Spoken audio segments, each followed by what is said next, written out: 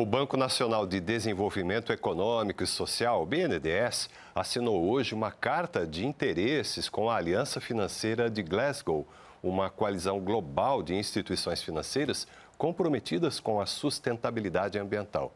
E dessa parceria vai resultar uma plataforma que vai reunir projetos e investidores. Mas quem tem todos os detalhes desse mecanismo é a repórter Vanessa Casalino, que fala agora ao vivo com a gente, direto de São Paulo. Vanessa, boa noite. Olha, sentimos saudades de você, viu? Oi, Roberto, boa noite a você, obrigada, boa noite a todos. Também senti muita saudade de vocês, mas agora estou aqui, estou de volta.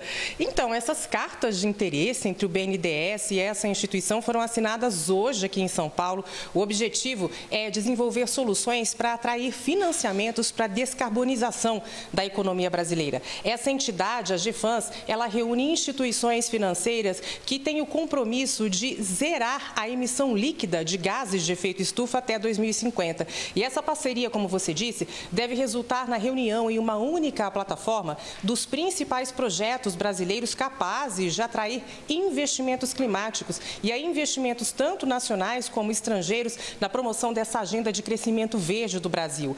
O objetivo, a intenção é que essa plataforma ajude a desenvolver o chamado emprego sustentável e que também ajude a atrair investimentos para tecnologias de baixo carbono e também para promover economias brasileiras que protejam a natureza e a biodiversidade. Um documento selando essa carta definitivo deve ser assinado pelo presidente do BNDES, Aloysio Mercadante, e essa entidade durante as reuniões prévias dessa chamada trilha de finanças do G20. Roberto.